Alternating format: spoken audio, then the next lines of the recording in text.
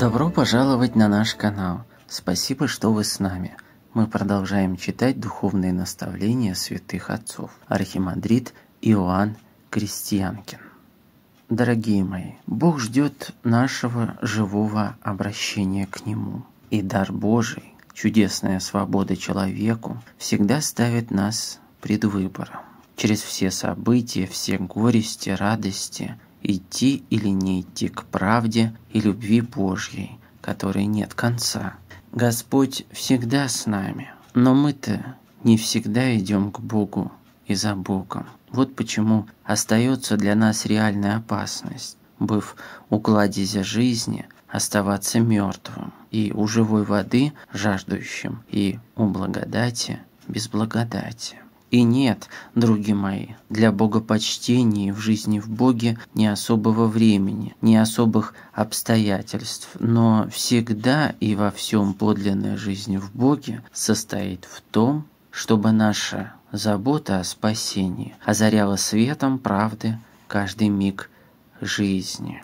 Мы иногда лишь прозреваем духовно, но как часто, ослепленные грехом, теряем луч света. Это свет Христов, и бредем по жизни во тьме, меня себя еще зрячими. Главное бедствие нашего времени как раз и заключается в исключительной духовной слепоте людей. Сегодня духовный разум, который может ясно видеть свет истины, становится уж очень крайне редким явлением. Плотской разум, погрязший в вещах жития сего, любящий только земная, всегда ведет противоборство с учением и откровением божественным. Для стяжания же духовного разума нужно прежде всего послушание разуму Вселенской Православной Церкви – «Не приставай, — говорит преподобный Ефрем Сирин, — испытывать божественные писания. Не приставай вопрошать Матерь свою, Церковь, свет Христова учения, свет Его любви просвещает всякого человека в мире. И любовь – это та проба, по которой проверяется, слепы мы или зрячие, больны или здоровы. Вспомним слова Спасителя. «Если бы вы были слепы, то не имели бы на себе греха. Но, как вы говорите, что видите, то грех остается на вас». Порождает духовную слепоту грех, и духовная слепота укореняет человека во грехе и ожесточается сердце человеческое и грубеет, и слухом слышит, и вроде бы глазами видит,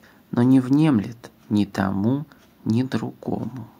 И грех ожесточения сегодня, упорство против истины и противление ей делают человека участником бесплодных дел тьмы. И слабее голос сердца, холодный, рассудочный, гордый ум попирают христианскую любовь. И вот уже ослеп человек окончательно. Так отступает Бог. Вечность други мои, не есть упразднение этого века или его отмена. Напротив, вечность – это сохранение того, что было здесь, но чтобы преобразилось воскресением и стало пригодным для вечности. вечную жизнь может преобразиться только то, что живет правдой добром, красотой. Все обличаемое совестью, как несомненное зло, сводится в конце концов к смерти. Убийство, ненависть, корысть, ложь,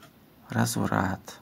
На дне всех злых страстей лежит смерть. Все они ведут к смерти, сеют ее в мире и не могут присуществиться в добро при переходе в вечность, а значит, путь к пресветлой и преблаженной вечности, уготованной воскресением Христовым, лежит через деятельное подавление в нашей земной жизни всякого зла, через подвиг доброделания.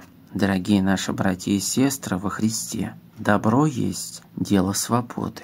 Победная сила воскресения Господа нашего Иисуса Христа была силой Его вольных страданий и вольной смерти, освободивших нас от рабства тлению. Одна канувшая на землю Голгофа капля крови Спасителя, Его добровольная жертва, изменила незримо все на земле. в мир вошла совершенно новая сила, сила воскресения. В ней нет ничего от принуждения, от насилия, поэтому-то все, что она дает, обращено к нашей свободе и только к ней. Но нашей личной эта могущественная жизненная сила становится лишь тогда, когда мы вольно сами стремимся к ней. Поэтому и церковь сегодня нас учит, что воскресение в вечность требует от нас активности и деятельного раскрытия в себе добрых сил. Распахнем же сердца наши навстречу страдавшему и умершему и воскресшему нас ради. И вот Он войдет и наполнит собою и светом своим жизнь нашу, преобразит души наши. А мы? А мы в ответ на это уже с любовью устремимся за Ним по нашему крестному пути, ибо в конце его, несомненно, сияет и наше воскресение в жизнь вечную. Из духовных поучений старца архимандрита Иоанна Крестьянкина. Спасибо всем за внимание и до встречи на нашем канале.